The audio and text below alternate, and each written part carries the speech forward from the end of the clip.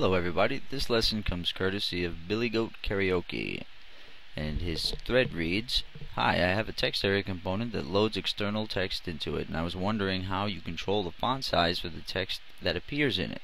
I can't find any font parameters. Do I have to add something to the AS of the external text function or what do I need to add? Cheers, Sean. Okay.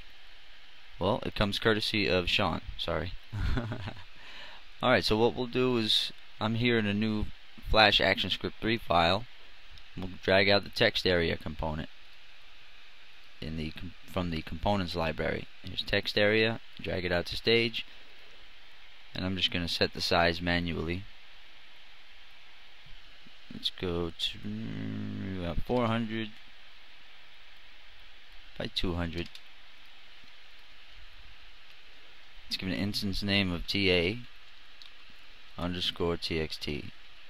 Text area underscore txt. So ta underscore txt is the instance name on it. And now let's put some code here. Let's make a new layer. And on that new layer let's type in a string. Actually let's type in two strings so I'll show you two different sizes. My string 1 this is a string type variable. And we'll also let's just type in as a value string value is hello little world. Exclamation. Now let's take that line and copy it. And let's just say you had another value going in another external section or another section of external text coming in. Say hello big world and normally you would only have one external string coming in. But I just wanted to show you how you could format two of them if you wanted in different ways.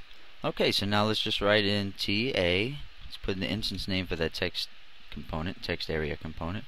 TA underscore txt. And we're going to use the HTML property, HTML text property. That way we can have it render HTML in the string and we're going to say HTML text is equal and we put everything in between single quotes here. And then we put the semicolon. In between the single quotes we're going to type in font size just like you would in HTML it will now respect your HTML commands or formatting. Let's make this one minus 2 for the hello little world and right here oh, we gotta close off that font tag. We're gonna put after the single quote the last single quote there we're gonna put plus space space plus space space and two more single quotes. Now here we're going to type in the closing font tag here and all we have to do is put in my string 1 right there. Now we press control enter. You see you have nice little text. Says hello little world. Now all we have to do is you can append text. Well actually let's just put a line break here. Br slash close the br and we're gonna have font size.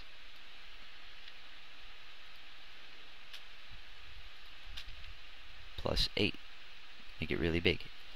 Plus 8 and then we put plus space space plus space space single quote single quote in between the single quote we close the font tag there. There you go. My string 2 goes right there.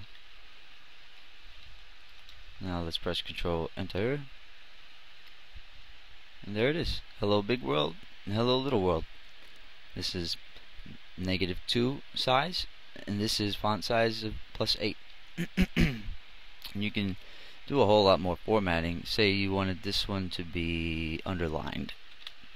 You just pop in the HTML underline tag. close it off control enter or F12 in the browser